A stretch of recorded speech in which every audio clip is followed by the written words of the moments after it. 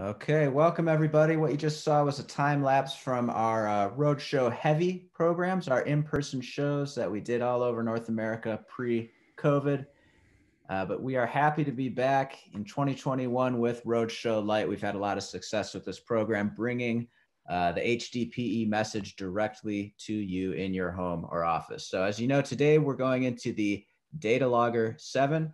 Mike Pacheco from McElroy Manufacturing is here with us to uh, go in depth on uh, what we think is a great topic and a great resource uh, for HDPE users uh, across the country. As always, we want to thank Alliance members. Uh, their membership makes what we do possible. Uh, these are the companies you want to support. If you want the best HDPE products available, these are the companies from whom you would like to purchase. Uh, special thanks to United Poly Systems. They're sponsoring this show today. Um, Peter, is Tom Titus on the line? Uh, I haven't seen him, um, but you made him a panelist, right? Yeah. So if he turns his video on, um, we'll connect with him. But if he's not here, let's keep moving. But acknowledge uh, how thankful we are that um, United Poly Systems has sponsored this event, right?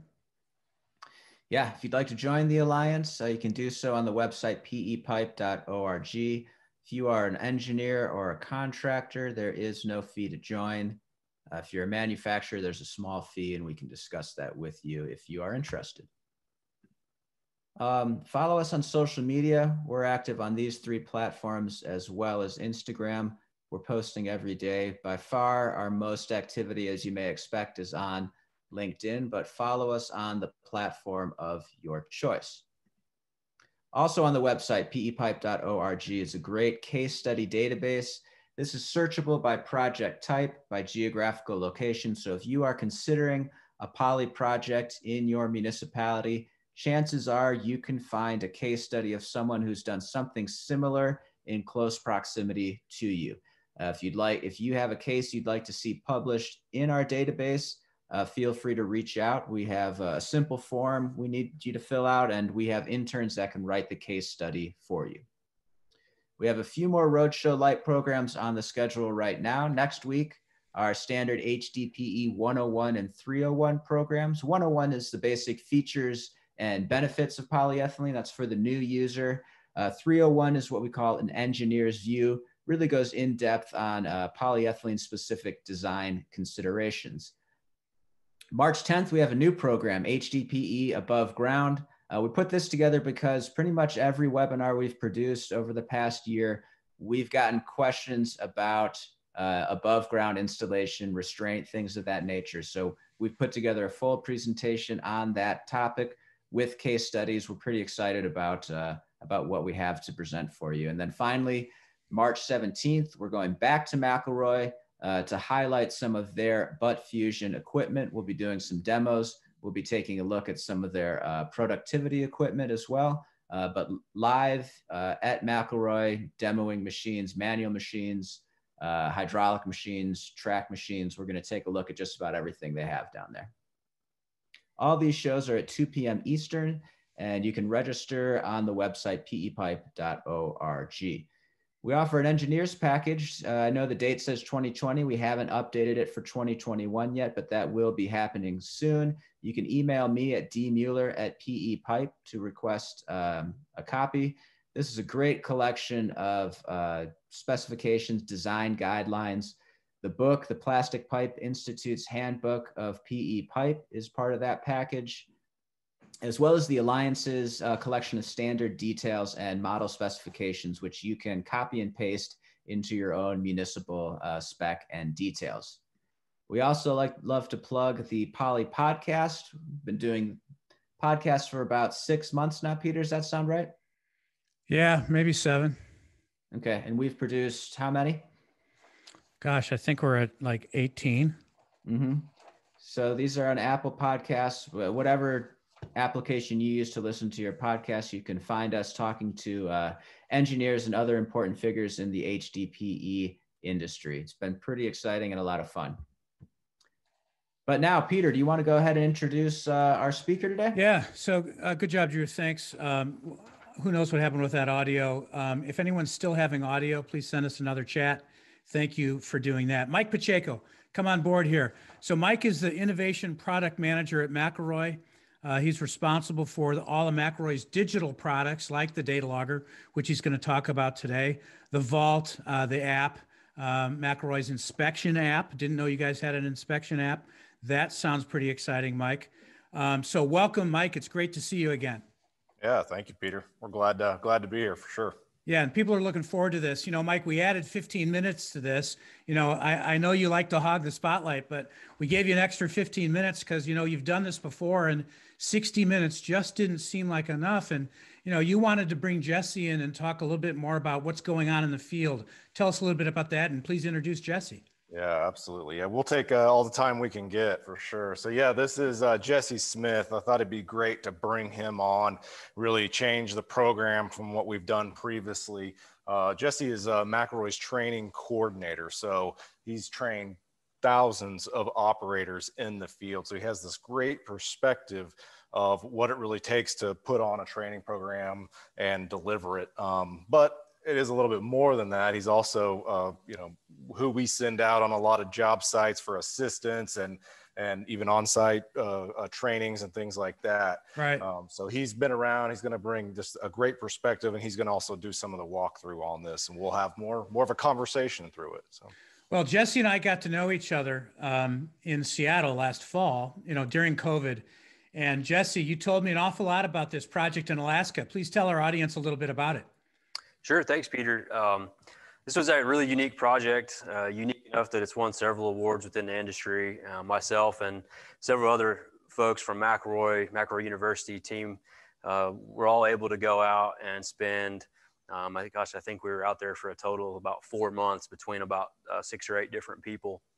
Um, this was obviously the the Talon, uh, our largest fusion machine, and this is the Battle Creek Diversion Project, and we fused um, around 2,000 feet of 63 uh, inch poly to run uh, water from a, a, newly built diversion dam down into a lake that had been uh, water level depleted uh, due to melting glaciers and things like that uh, that uh, needed extra water to run across a hydroelectric dam.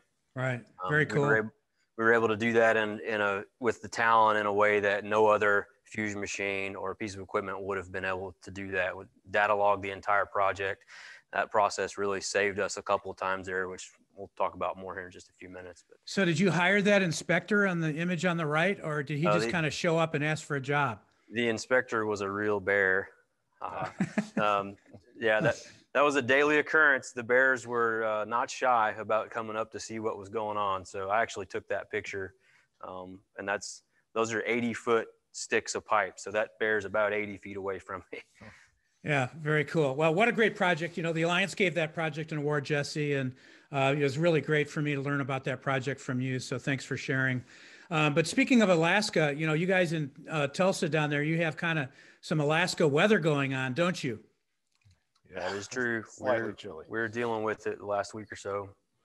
So they've got that weather going on down in Texas. So a shout out to our friends on the call today who are in Texas and experiencing this this terrible um, uh, conflagration of multiple events happening simultaneously. And you know, what does it have to do with us? Well, some of those issues that are occurring have to do with water main breaks. And colleagues in the industry have been giving me a hard time for years about Peter, why do you spend so much time talking about the seismic performance of polyethylene. Well, this is precisely the reason. So here is a city councilman from Fort Worth. Uh, and this guy just posted this on Facebook yesterday. And he said, We've had 146 water main breaks. That was just on his side of Fort Worth. Uh, they've got 26 crews working. And imagine the level of disservice to his constituents. The reason polyethylene is the pipe for this kind of condition is because when that ground moves, it bends with the ground. It doesn't fail at the joint. And you guys in Tulsa have been having your own issues, haven't you? So uh, because you've had so many issues with main breaks over the years, you guys have a uh, website just for water main breaks. And I took a minute this morning, Mike and Jesse, to uh, put together over the last six days how many water main breaks you've had in town. And your weather's been really pretty awful. But as you got closer to zero, you bumped up to 43 a day, to 50 a day, to 40 a day. And over on the right hand side of this image, you can see um, when it was resolved. So, you know, about half, this was as of about two hours ago, half of the ones on this page have been resolved from the 17th and 18th. Polyethylene does not fail when the ground moves. In fact, it moves with the ground. I don't want to beat a dead horse here, but I got a couple hundred people on this call, and you know I'm kind of like a politician. Why waste a good catastrophe? Let's talk about it. Let's talk about how our product helps with that issue. And I would love it if Tulsa and Fort Worth would engage with us to a higher level and use more polyethylene because they won't see this sort of thing happen with our product. Sorry to take some of your time, Mike. I turn it over to you, my friend. All right. Yeah, no, appreciate it. It's an important, important message. Well, we appreciate everybody taking the time uh, to join us today, and and we're we're really excited. This is a great opportunity. So it is going to be a little bit different. We're going to be.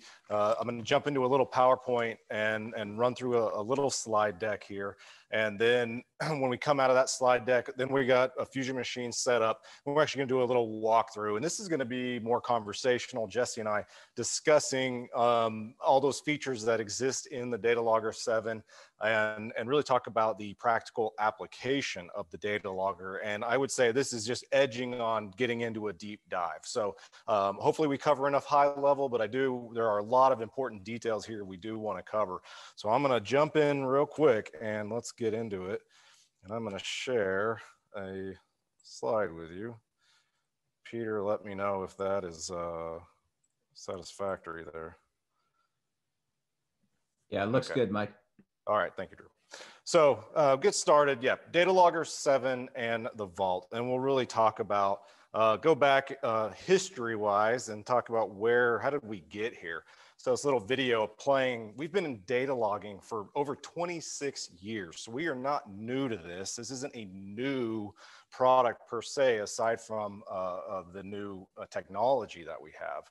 Um, and built on that original legacy back when we had those, those Trimble brick devices, uh, we released in 2017 the Data Logger 6 the Data Logger 6 launched us into just a completely new era for recording fusion information. And it has honestly been the most successful device um, to date now up until the data logger. But that really wasn't just McElroy's success. That's not how we were approaching it. That's really because of everybody in the industry. So McElroy channel partners, end users, folks like the PE Alliance who are willing to do presentations and really get the message out about why this is important. Um, but honestly, those end users, uh, folks like you on the call who not only have adopted it, but you've actually taken the time to integrate to your business. So let's talk about how we really got here and what you're getting. So first thing, I start off with just this basic concept of value. And um, so in conjunction with a great user experience that you get, this product must have value to the organization. And we understand that. So as a, a tool, any tool you're going to purchase, it's going to require investment, but that doesn't mean just in capital, right? It really means, especially the time that it takes to integrate this into your business. That's where the, the really needs to come in. That's where your investment really happens. And so we have sought out to provide more and more features that are going to add to this device and this platform's utility and thus add more value to your business. So we believe the Data Logger 6, moving to a larger screen, it really fundamentally just changed that value proposition. So I'm going to tell you about a few of those key features that I believe are, are really most impactful. And that first feature is a really simple, easy to use interface and something that we call guided workflow. So being able to guide the operator step by step through not only the logging process of pipe fusion, but it's also assisting them with the overall fusion process and keeping consistency. We'll talk more about that, especially yes. with Jesse's uh, uh, experience uh, is great with that.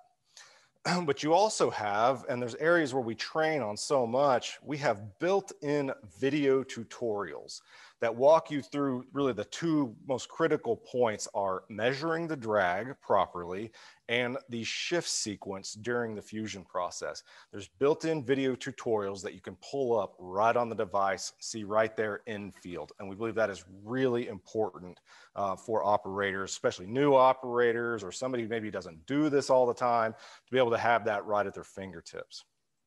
And then beyond that, the ability to have live pressure feedback. So this gives that operator, instead of we're not just looking at a gauge anymore, we're actually looking at the screen and you have that whole live feedback. Once you've learned that graph, once you've learned that curve, it tells you really all you, you really need to know about that you're performing those operations uh, correctly. There's obviously more to it. We'll talk more about that, but that is key. And that has really taken hold with operators uh, out in the field.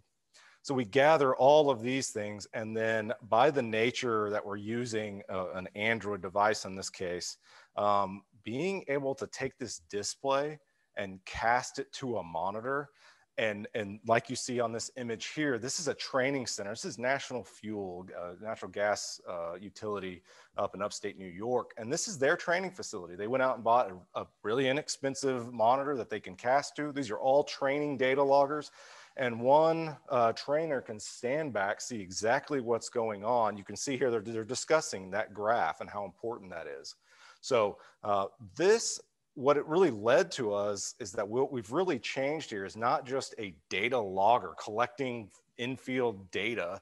What we're really doing is providing a fantastic training tool. And we know the challenges that our industry faces, uh, really any technical trade is, is acquiring and developing uh, new skilled labor in our workforces. So we focus on training. We're standing here outside of McElroy University. We have Jesse with us to talk more about that, but the Data Logger 6 has really become the tool, and now the Data Logger 7, to build repeatability and consistency into the process for both new and even experienced operators.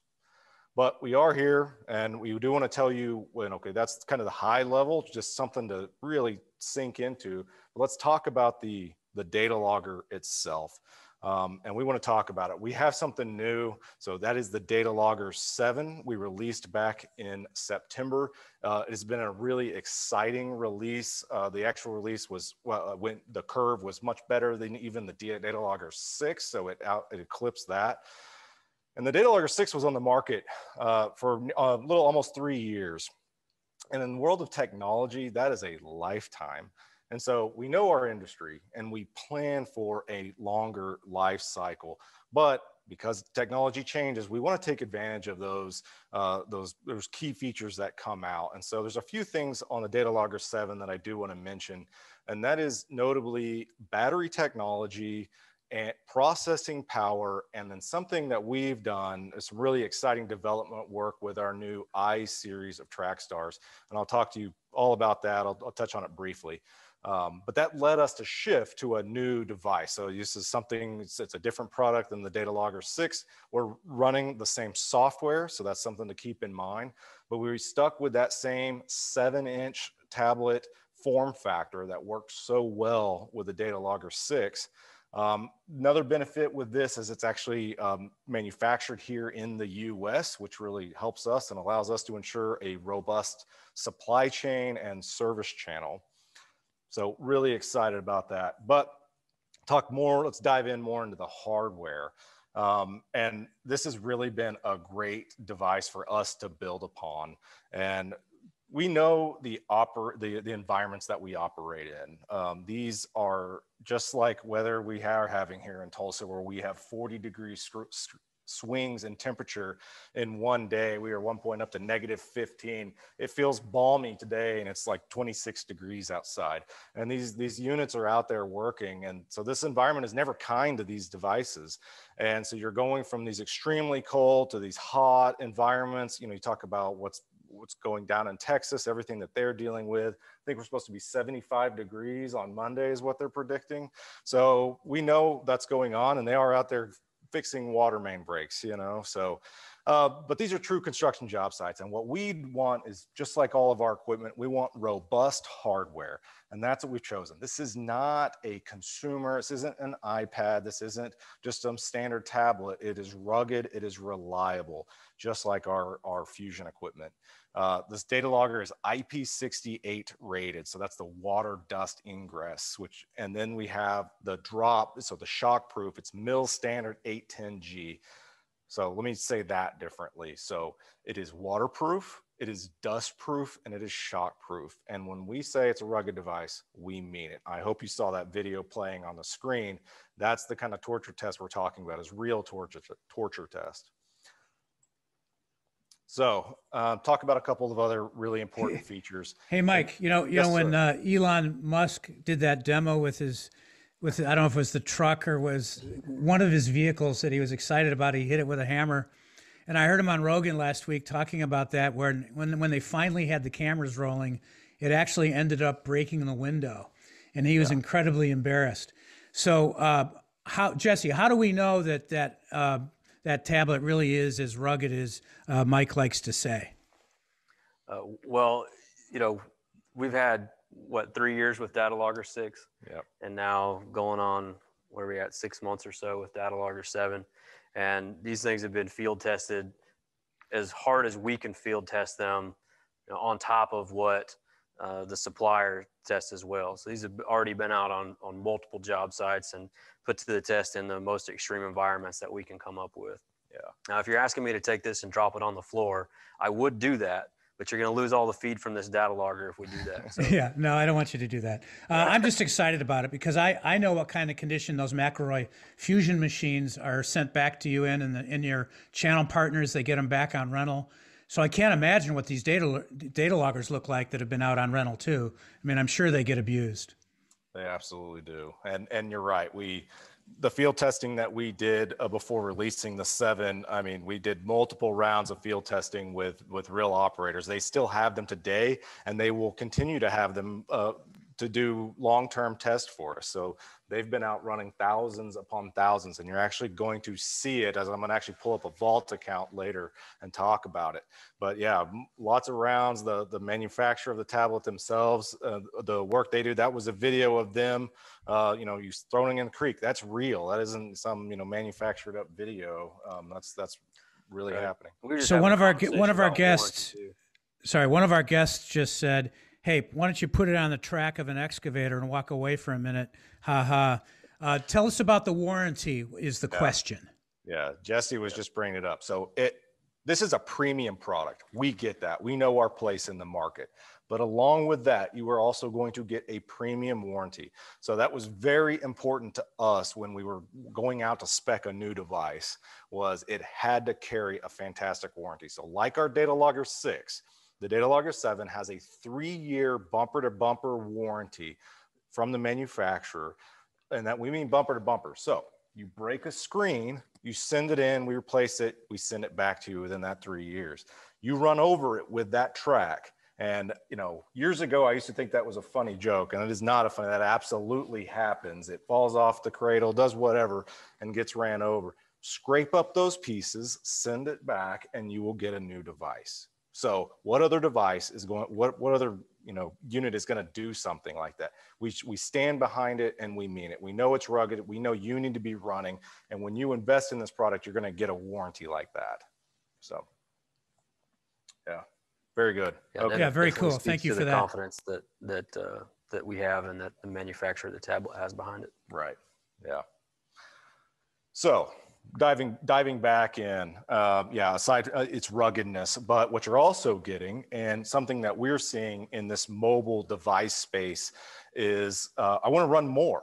And all you know operators i'm sure as, as, as many people on this call already use type infield type devices and you have applications business applications that you want to run. Well now people and more and more are looking for you know laptop desktop replacements with this when they go out to the field. So what's having to happen is that we're having to throw more processing power at these. And so that's what this is. The latest, greatest processing can handle anything we can throw at. That was really important when we talk about that value add that we've been discussing is because that's the feedback we've gotten from our users. Hey, can I run this additional application? Can I run this one?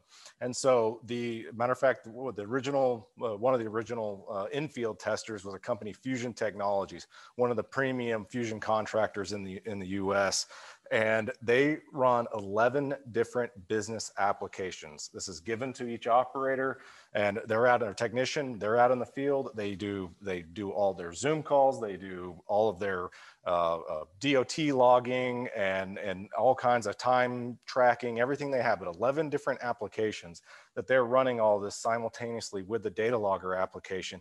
And that's what they're looking for. So we're giving you tons of processing power it's it's Android 9, so that's the that's the the latest industrial version of Android um, that we're running, and that also brings one more feature that I think is important. Just some little redundancy here is you can now take advantage of the Google Find My Device um, feature. So, and that's all built in. So let's say uh, the device gets lost, it gets misplaced. Somebody thought that they needed it more than you. You can use this feature to go in, you can find it, you can lock it, or even just erase it and get that data off of there. Um, so uh, there's a few key requirements. You do need to be connected to either mobile data or a Wi-Fi network. So that's actually another great reason to have a SIM card. These are SIM card capable. So have that SIM card in there, and then you're going to be able to take advantage of all these uh, features. So uh, pretty important there. So diving through, um, also, battery life. So something the Data Logger 6, we go to a bigger screen, it consumes more battery. So a Data Logger 6, you can get about eight hours on, right?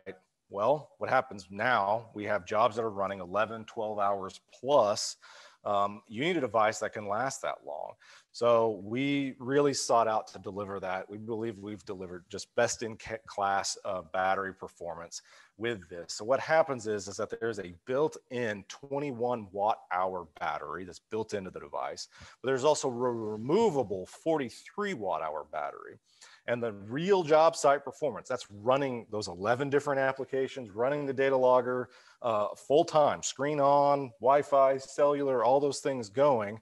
And we are seeing 14 plus hours usage. And now though, because of that internal battery, something you have the ability to do is now you can actually hot swap that battery. So you can have another battery going, being you know on a charger, ready to go. And when you need that additional battery life, you pop in that new battery. That's an additional kit you can buy on top to have that additional battery and charger. Um, but it gives you that full uh, all day use, essentially endless battery life. So pretty important there. This is huge for operators in the field. Don't have to worry about about battery maintenance and, and when yeah. to charge and forgetting to charge at night. This is a huge convenience factor. Absolutely. So, uh, and, and going a little bit deeper here, um, we also included some new connectors. So this is just uh, important for us. This is a, uh, it comes, it's obviously a military spec connector that has now moved into the industrial space and we are taking advantage of it. Um, why that is important um, is the cycles. So the old DB9 connector that we had on the data logger 6543s even, um, has a interesting rating of about 100 cycles that means 100 times to plug it in, 100 times to take it out. And we know that it lasts much longer than that. But just as an example of the difference, this new connector has up to 5,000 cycles. So just the, we ex expect a much more extended uh, life out of that. And it too is IP68 rating um, for water and dust ingress. So we expect that's at least three and a half years. That's of daily usage. So um, you're going to get a lot more out of it.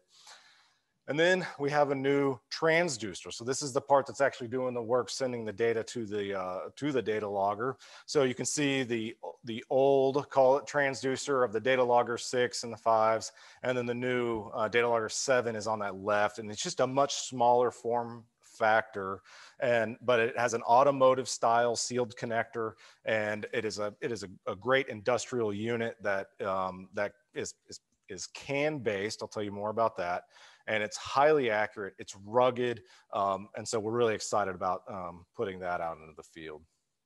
And there's a reason that we went to CAN. You'll hear me say that. And that's because of our new TracStar I series uh, machines. So, and that come in a, in a 630 size, a 900 and a 1200. So large diameter machines for us. The reason I'm going to mention that here is because that's what sets the Data Logger 7 um, apart is it actually has capability of what you're going to see today to be run in this standalone operation. So you hear me say standalone data logger. That means when it's connecting to our legacy equipment. But this data logger can also seamlessly move over to our I-series equipment. So in this case, on the screen I'm showing, I've, I've got, I'm hooked up to a rolling 28 machine, but then whenever I need to, if I had to, and I had an I-series machine, that data logger can actually fully function on that I-series TracStar. So, uh, and we've done that through um, a development of boards that's able to talk to, to both the transducer or talk to the I-series machine. And, and briefly, I'll mention what the I-Series is, is just, it is the, built on that legacy of the TracStars that we have today. The I-Series line that we just released in September takes this operator experience just to a completely new level. So it now comes with an integrated Data Logger 7. So the Data Logger 7 platform is integrated into the TracStar and actually talking to the machine.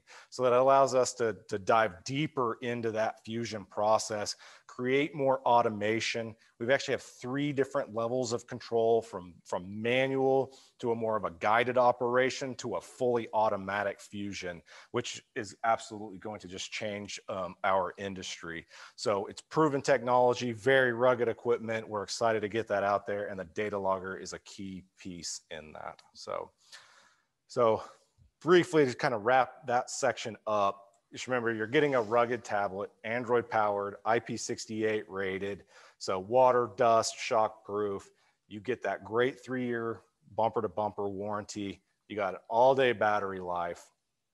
You got cameras to capture those, those job site conditions and then uh, communication. So SIM capable, Wi-Fi, Bluetooth, GPS um, all capable. And then the most important part is that you have an easy to use, easy to understand interface that makes the folks in, on the ground, in the field, uh, uh, makes their day a lot easier.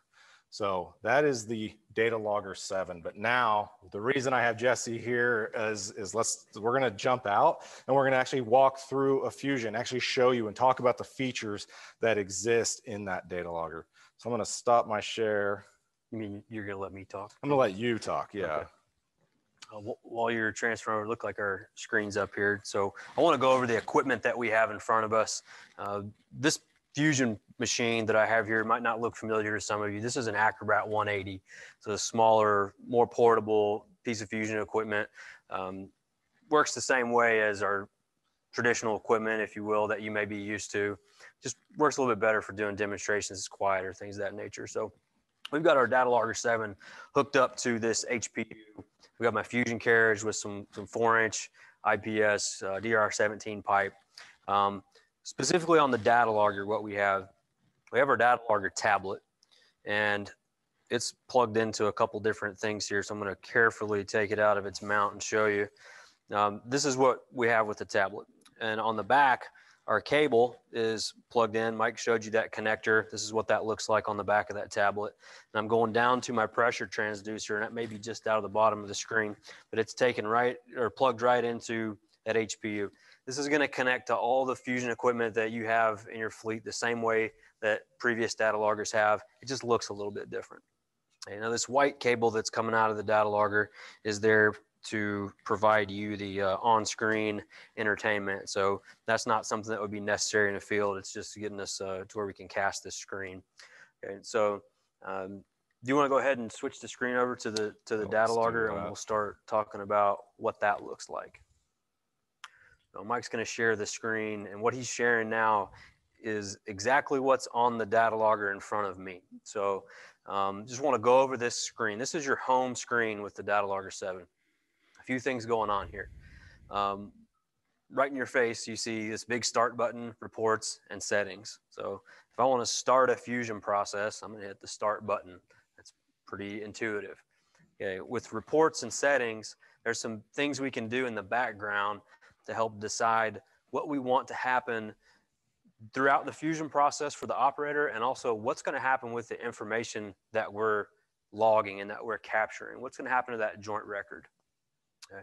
Um, so the first thing I want to do is go into the settings and show you some things that you might want to be thinking about before you actually hand this to an operator and take it out to the field and start logging fusions. And I, and I think this is really important, especially for the folks that are on this call is is when you're you get in you spec this you get in on you really need to think about everything that needs to be done beforehand and how to properly do that so um, that's the, the, everything we're about to walk through is just really important to to have thought out and we will be happy to sit down with you go through all of those best practices um, that before you get a job started. sure if you're a new user going data logger and data logger yeah. vault it would be a good idea to sit down with somebody who really understands and help you get set up so that you're capturing information the way that you want it captured the first time instead of having to go back afterwards and try to resort it all out. Right. that can become a little bit challenging. So a couple things we want to look at here.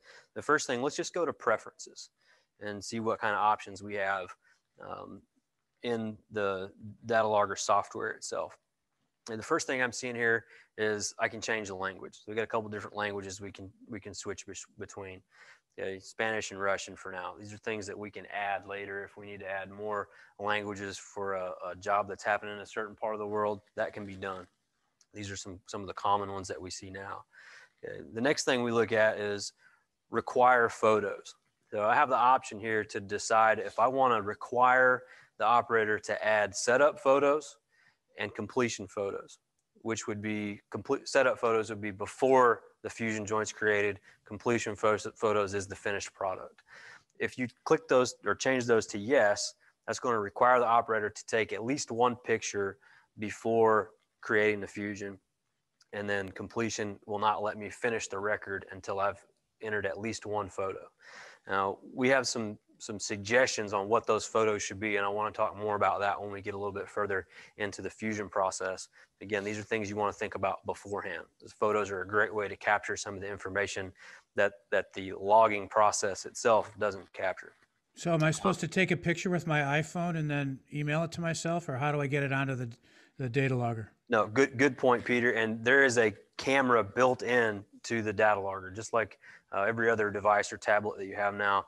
Uh, what's the megapixel rating on it? 16 megapixels. 16. It's a really good camera, and you can get some really good high quality images of certain parts of the process, like face offs, pipe alignment, finished bead, things like that. And that's built into the tablet. So I'd take it out of the mount, point it at what I want to take a picture of, take a picture. And I'm going to show you that here in just a minute.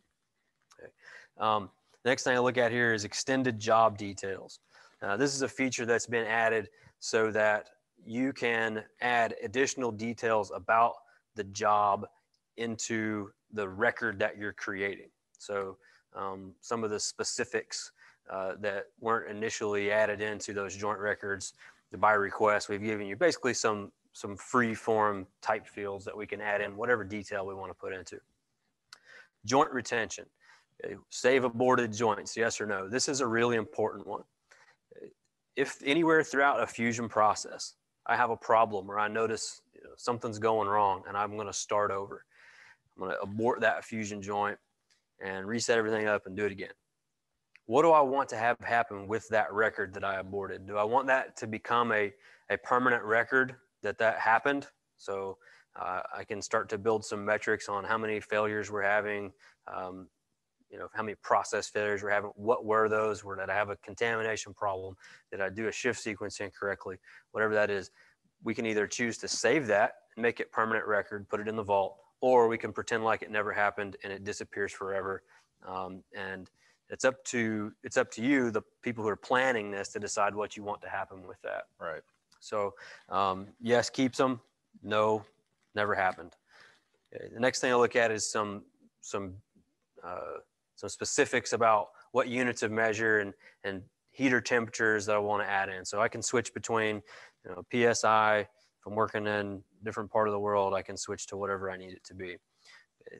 Heater temperatures, I can decide how many heater temperatures I want the operator to have the opportunity to enter uh, per side of the heater. So I can switch this to one. Maybe I'm working with a smaller heater. I only want one temperature per side. This gives me one place to enter that temperature. I can change the unit of measure if needed.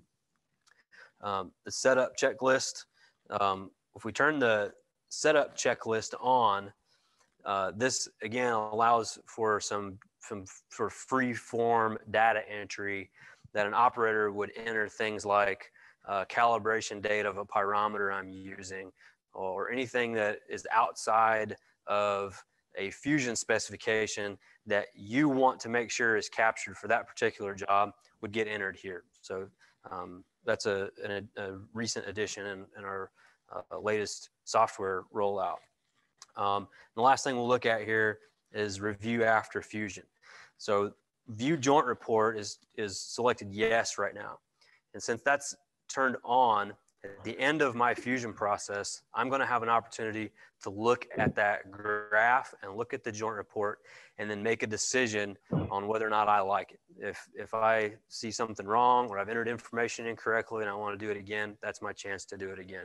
And you know, that's how important that is. Uh, it, something we deal with uh, almost on a daily basis is we're doing all of this through data logging and having you have the opportunity to, to view that report in field right there standing over the fusion before it goes into the ground.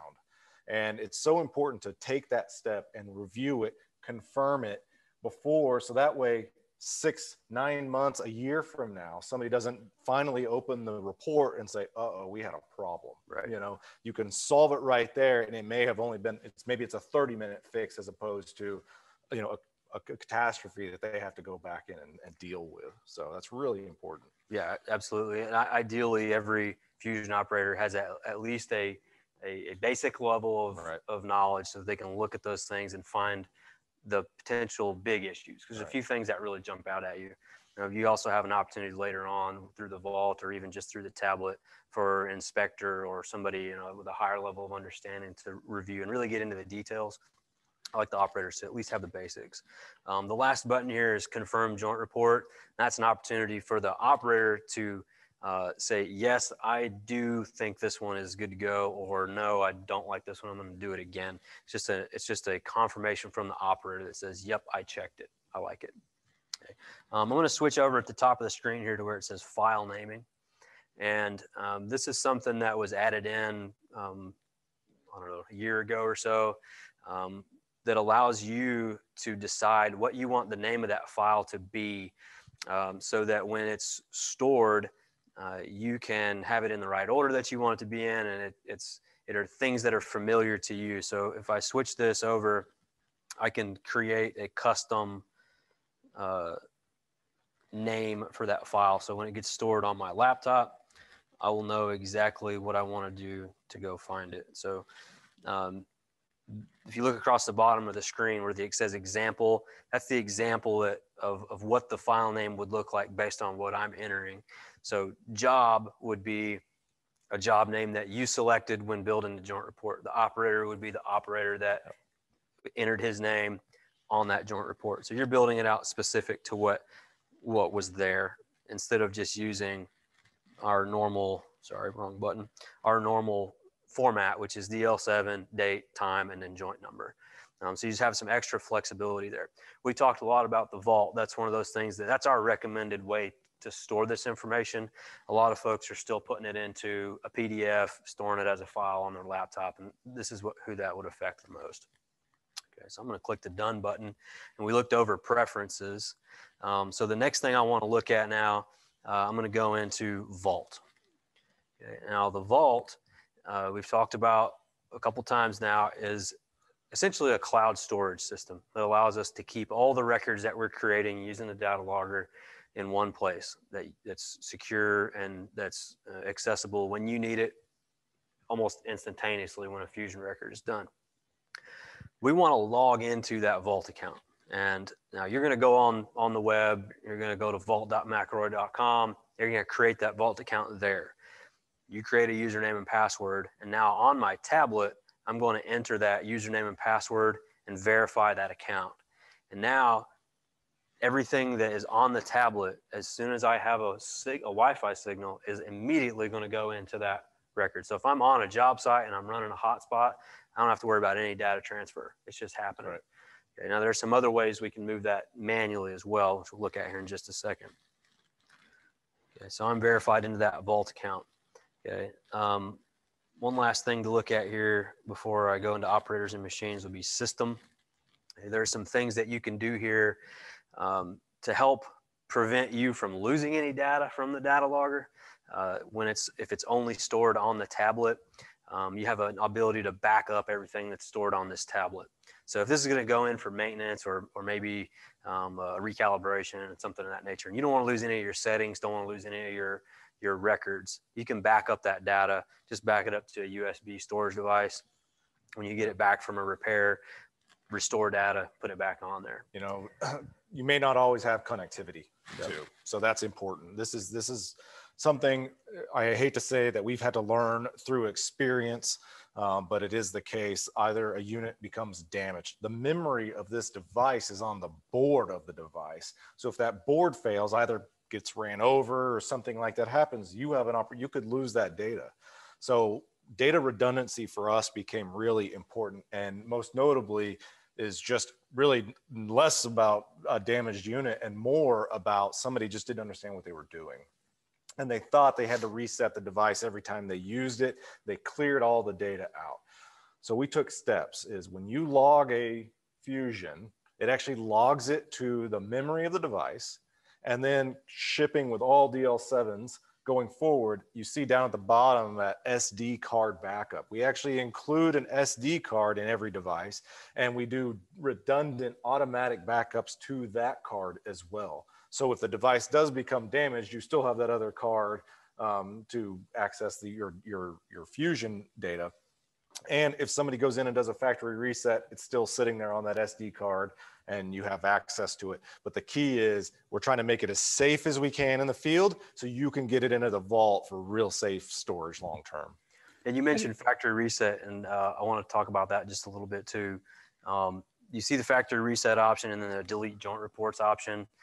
Um, factory reset from from within the the McElroy data logger software will wipe all your operators, all your machines, all your joint records, all your settings. Delete joint reports will only remove the joint reports. So if you're finishing a job and you don't want to see the joint reports from the last one, you delete the joint reports. Right. The factory reset is a great tool for any of you who might be running a rental fleet. Um, when you add that as part of your check-in, check-out process, do a factory reset so that I don't rent a data logger that you used last week and I still have your information on it. There's a possibility there that, that your information makes it into my vault account or vice versa. So those are two two tools that if you're running a rental fleet or if you're buying and selling these things, um, once you start using those. Question for you, fellas. You bet. so, Mike, I remember you saying last year that you were very proud of the fact that the McElroy data logger pre- precludes an operator from messing with joint reports, and that included deleting them. So, like if he had, if he was not following procedure, and he realized it three joints later, and he wanted to delete them, you know, looking at this, it looks like he could delete those joint reports. Once a joint report is created, um, it, the only way that it could be deleted would be for you to delete all the joint reports by hitting this joint report button. So probably not the best idea to try to, to delete a, a joint report that doesn't look right because you're just gonna have to get rid of all of them to do that um, or do a factory reset and then they're all gone.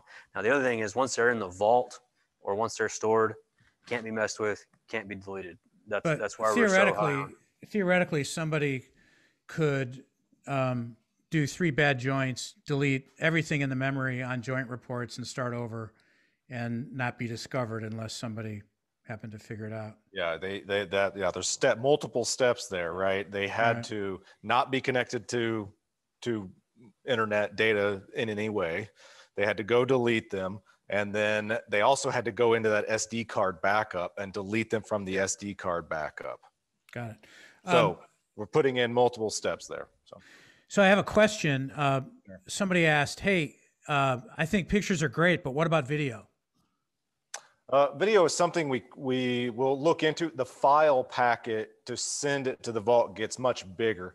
We already somewhat struggle with connectivity just in the nature of our business. You don't always can't always guarantee it um, to be able to send that big of a file. If you think about some of the top users are in the middle of nowhere working on fairly shoddy service. So if we made that even bigger it's going to cause issues. It is definitely something we can consider if uh, video is is something you're interested in. Uh, is there a way to look up reports per data logger used so if an operator is using different data loggers for the same job, uh, can an individual or an inspector search a variety of ways to find information? Uh, I would. There's probably two more ways I would look at that. First, the way the most most common would be you probably look at your operator first, and then you would look at your um, your, your machine, your actual fusion machine, and the vault. As soon as we get into that, we'll actually show you what's there. Um, we have had people ask, can we do it by data logger? So that is something that is actually on the roadmap for the future. So cool. Let's let's take a quick break here, and I'd like to call up Tom Titus. Hey Tom, are you there? Can you go uh, video on and audio on, I'd like to introduce you to our, our audience. I'm having a video issue, Peter, to be honest with you. I, I am here, though. Sorry about that. Awesome. Well, uh, greetings. So, Tom Titus uh, is our sponsor today, and he's with United Poly Systems. So, Tom, welcome to the show. Thank you. Glad to be a part of it. So, who is United Poly Systems, and what do you guys do? United Poly Systems is an HDPE piping manufacturer that has been in business since 2011, started by uh, private owners. We have since been acquired by a private equity group in 2019. And we operate out of Springfield, Missouri, with one of our facilities and another in Albuquerque, New Mexico. And between the two, we make both pressure piping HDPE systems as well as conduit uh, for telecommunications, fiber, a variety of different applications there as well. We make three quarter through 26 inch between 11 lines at our two different facilities. Fantastic. So you guys are making the pipe, you're converting that resin into pipe, and you're selling it into multiple markets. Well, we greatly appreciate your sponsoring this and helping us uh, bring this great content to our audience, Tom. So please stay on the line. I don't know that we're going to have any pipe questions, but uh, we're very thankful for your support. You got it. Thank you. Okay. See you later, Tom. All right, Mike Pacheco, back to you in Tulsa, Oklahoma. I hope it's warmed up a little bit. Yeah, we're good. We'll, um, so we'll we'll move on. Real, we'll start going a little bit faster here to to get into the process. Settings is the fun stuff. All right, so right. Uh, it's, it's important though. So let's go ahead and look at what it takes to set up to go ahead and do a, a fusion. So I'm going to hit this big green start button. Okay, and I've already entered a bunch of information here. All right, I'm going to tell it what process am I doing? I'm doing pipe fusion, Have the option to tell it a pressure test. That's something else that we can use the data logger for now too. That's more building out. We talk about that value. You talk about you can do in-field pressure test with the data logger. We have a we have the transducer, so you would connect to just like you would connect a, a, a gauge. You can connect this and actually test that that uh, that line that you've just fused. So pretty important, but we're that's a diversion and just just from pipe fusion. Yep. So Next thing I'm gonna look at is joint ID. It's gonna start off at one. It's gonna count up every time I make a fusion unless I tell it to stop. Yep. So that's another thing you wanna think about. Uh, do I wanna start over at one every day? Do I wanna go from one to whatever for the entire project? It's a decision that needs to be made beforehand. The job name, this is another one that's important. This is the way, one of the ways that data is gonna be sorted in the vault. So the job name needs to be consistent, especially if you're running multiple data loggers. If you spell one a little bit different than the other, add a space or anything like that. It's going to make two job names. You can fix that later. It's easier if you get it right on the data entry here. Operator, I'm going to create an operator. So I've added myself here as an operator. Um, I can add multiple operators and they would then be stored in the data logger. So if you have a crew, five people, they can all have a profile, if you will, here. And when they go to use this data logger, they just select themselves and all their information is already there. Same thing with the equipment. So I'm going to click on machine. You can see I've got my Acrobat that I'm using there. Same thing, I can add a whole library. If you own a fleet of equipment, you can add them all into your data logger and they're stored there. So you just select the one that you're using that day. Okay, I'm gonna hit the next button here and go to our next screen. As you can see, as I go through these screens, this is that guided workflow. This is where it's helping me set this up so that I'm capturing the right, the right data. What type of fusion am I doing? Okay, these are the options that you have. sidewall miter dual contain. I'm gonna leave it on butt fusion. That's what we're gonna do today. I have what specification am I using? I've got F2620 20 in here. I have a whole list of other specifications that we could choose from. Okay, I'm gonna leave it on F2620 for now. Okay, I'm gonna hit the next button. Now this is where we take pictures. Okay, so if setup photos are required, I can't get past this screen without taking a setup photo. So what I like to recommend here is that you have your fusion equipment set up, you have your pipe set up, you have pipe installed in the machine. Go ahead and do that face off on those pipe ends, get everything cleaned up and aligned and start taking pictures because the logging process doesn't capture any of that, right? Photos is the way that you capture that. You can put as many pictures in here as you want. You can take a picture of what your pipe stand setup looks like. often say you're trying to tell the story of Yes. what was going on in field. So alignment setup photos. If you are feeding this back to an inspector or a, you know I don't know a, project engineer, you want to tell that story and say there it is. There's no question that I am aligned properly. Right. Somebody asked the question, how does the camera work? I'm going to hit this plus button. It's stuck in the mount right now, so you're looking at the floor, but I'm going to turn the camera around and you'll see me. So that's your camera. When I get ready to take a picture, I'm going to aim it at whatever I want to take a picture at and then attach that. And now this is part of my permanent record. Yep. So um, alignment, Job faced off pipe ends, faced off to the stops. Um, any of those requirements that that logging process isn't going to capture, photos is the way to do that. Um, the amount of information you can get through these pictures is um, is a, is really never ending. We keep thinking of new new things to take pictures of. Okay, I'm also going to capture weather conditions. We're working inside today doing a demo, so it's nice and warm in here. We're indoors. Okay, These are things that could impact the process that is done, you know, based on, uh, you know, a cool time being longer or shorter, or having to heat pipe longer to get bead sizes. This helps give the inspector or the person who's reviewing this information a, a better window into what was going on that day when that fusion was made.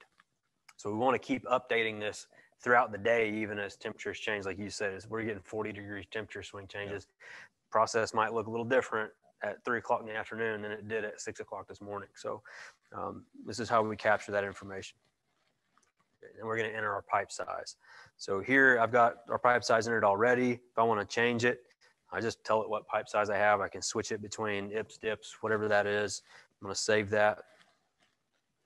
Okay. There's also this traceability button underneath that. Um, if you have a barcoded pipe, I can take my data logger out of the mount, hit the traceability button, and you're going to get a little green laser scanner that you can scan that barcode. That's going to pull in all the information about that pipe more than what you're going to get with manual entry. What you're going to get with manual entry is what you see on the screen size, DR, kind of pipe material is it, and what are we fusing? Stick to stick? Is it a fitting? That's what that fuse to button is. With the with the scanner, you're going to get data manufacturer. You're going to get all sorts of information about Yeah. that run of pipe. Okay, we'll go to next.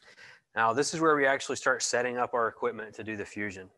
Okay, so this is where I'm going to measure my drag. I can change my interfacial pressure here if I want. This is what's going to start to calculate how much pressure I'm going to use to do the fusion. So we've already captured what the pipe size is. We already know what the standard is. Now we're going to measure that drag, and that's that final piece that we need to figure out what our fusion pressure is going to be. and and the standard we chose f2620 here the, the interfacial pressure that's targeting the middle but that all of this is going to change dependent on the standard you've chosen so it's already plugged in for you ready to go and it's going to make that calculation i mean as, as easy as possible Right. yeah I just turned on my, my Acrobat here. So I've already measured the drag on this. I'm gonna, that's where it's set at 21. That's the drag pressure I've got. Just to, to prove it, I'll show you on the screen here. It's gonna be around that 20 mark. So if it- whatever my drag is, I hit the measure drag button and it's gonna capture that number. So if I hit that, that's gonna be 20 to 21 PSI. That's now locked in. It's gonna get added to the calculation for me. Okay. Then I get this opportunity to pre- prepare the machine. This is where I'm going to set my fusion pressure. That's the bead, that's the fuse cool. All right, now the drag's already added to that. So I need to put 315 PSI.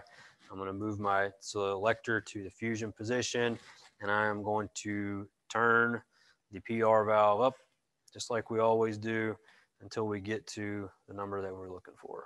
And this is really the day, if you're, if you're ever using our, the Mac or the McCalc app, here is exactly what McCalc is doing, but you're, you're, you're working into the machine here, setting up the process. But it just gave you that 315.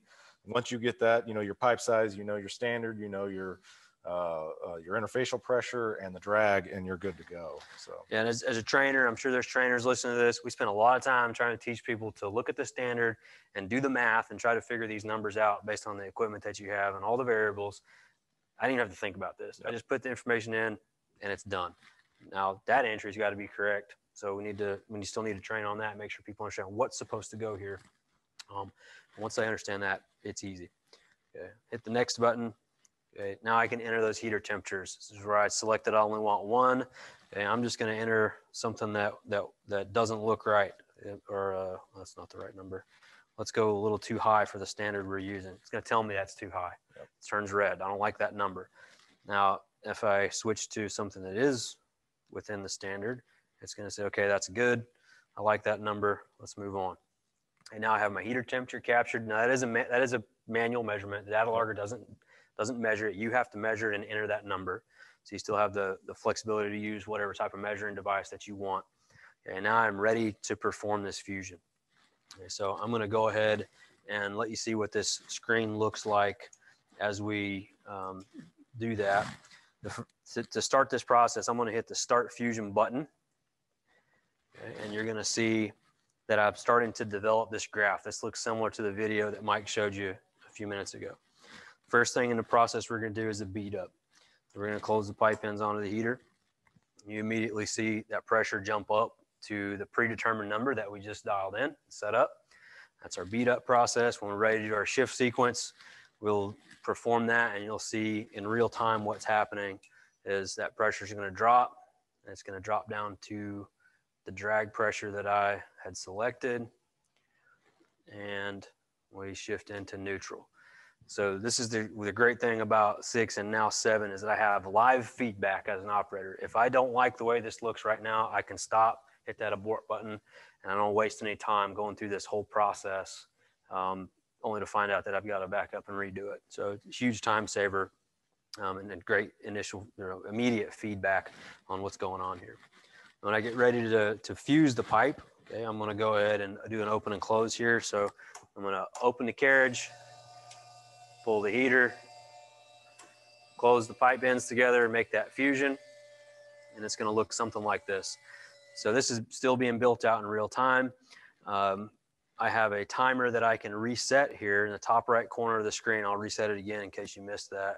And that is a way for me to keep track of that cool time. So um, I can manually reset that as many times as I need. Doesn't affect the, what the overall joint report is going to look like. Um, it's just a tool for the operator to keep track of that number. And you can see that everything the operator needs is posted right across the top of that screen. So all those numbers were there. We wait the cool time and then we hit the done button. Yes. And now that joint report goes straight into the vault. Um, I have an opportunity to add any notes about anything that, that was going on that I want to make sure an inspector knows about and then take those completion photos, finished bead, final location where it's gonna gonna go into the ground or be buried, and then I can review everything from here. So this is that opportunity to review. Quick question so before you review. Okay. So I have a question. Um, so I'm using a pyrometer to measure the temperature of that heater plate. Um, does the ambient temperature or the distance from my pyrometer to the heater plate affect the reading at all, or because it's an infrared and very cool, uh, distance and ambient temperature yeah, doesn't matter. If you're using the infrared style pyrometers, they are accurate, but there is some variability between the different styles.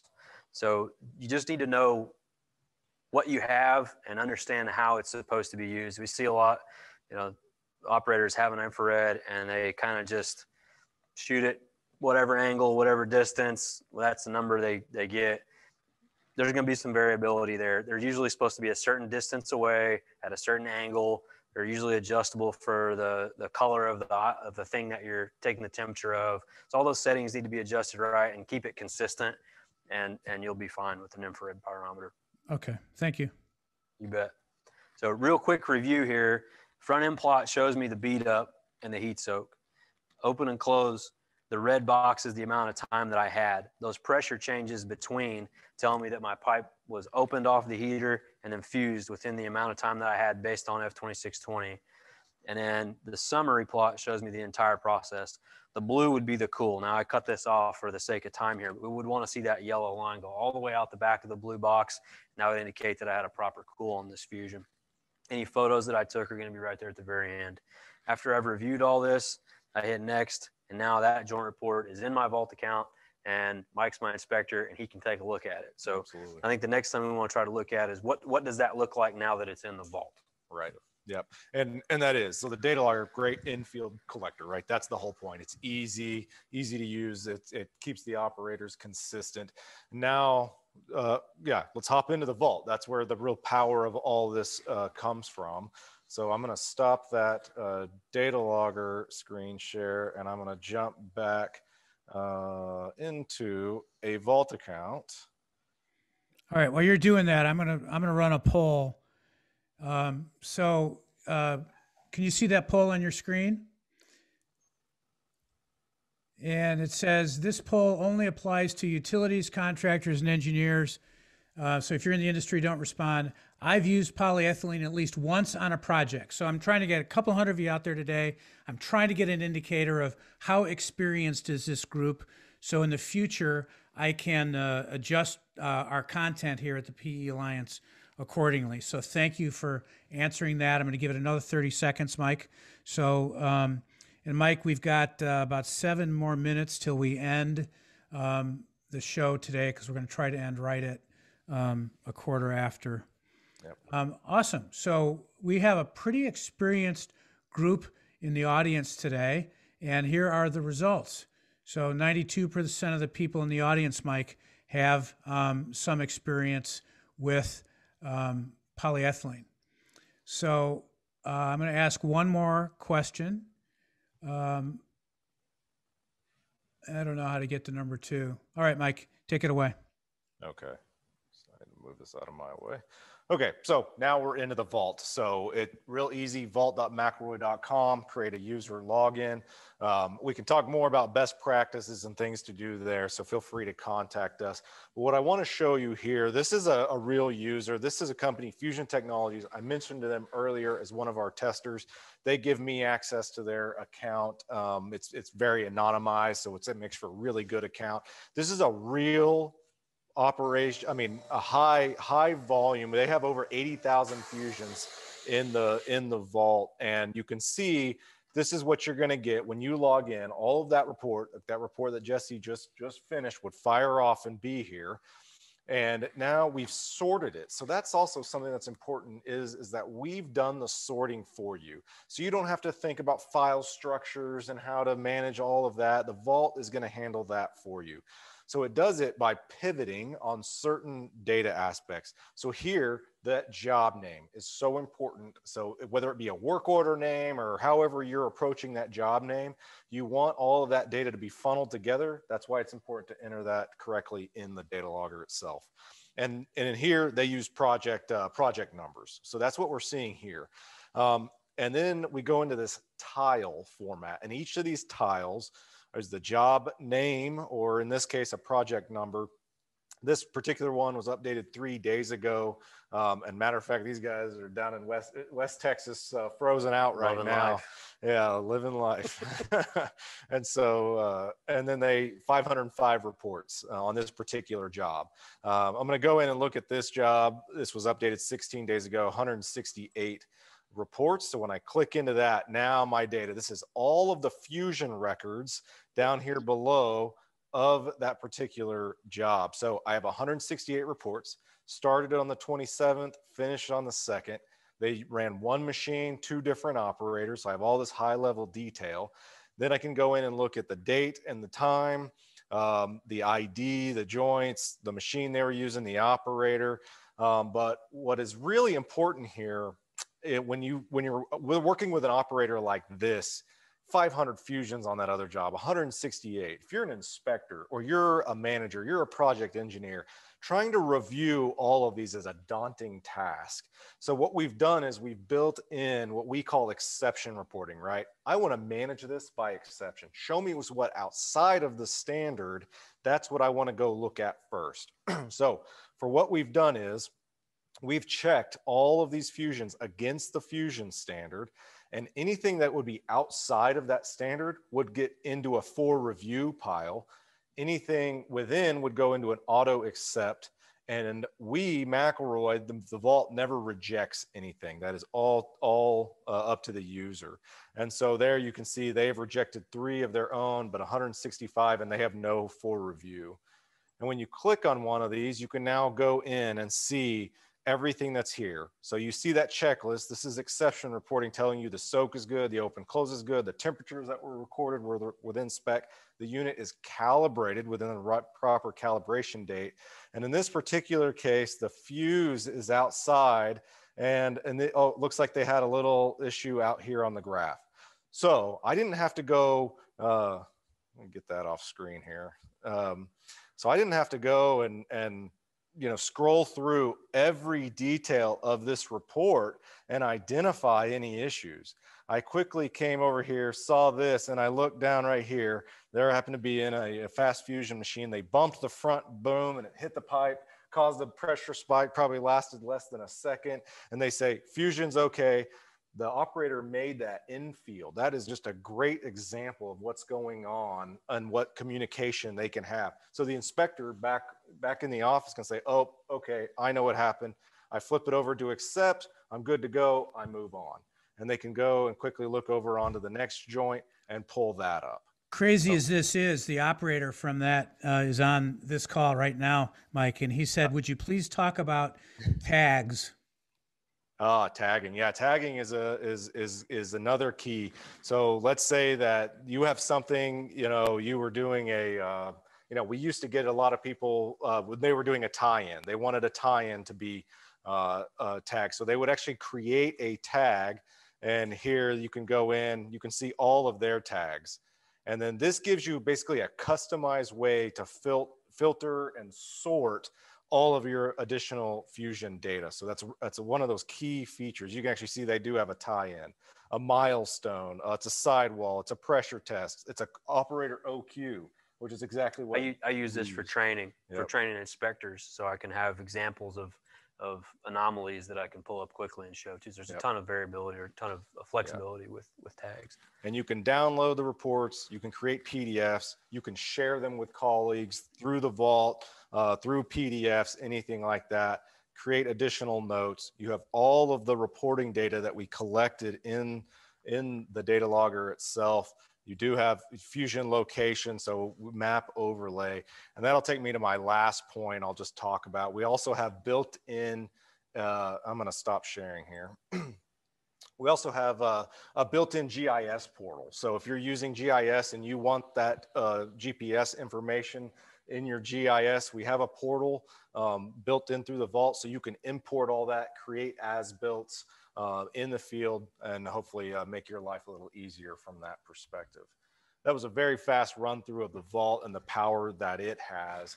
Uh, but Jesse did a great job uh, with the data logger. So I think, yeah, we're, we're open for questions. You guys did a great job. Uh, Jesse, I'm interested in, you know, now that you've been doing this for so many years with uh, really a powerful six and seven data logger product, uh, what are the what's the one or two most important things that you think an owner should know about putting it in a spec? I mean, is it that you have to train the inspector?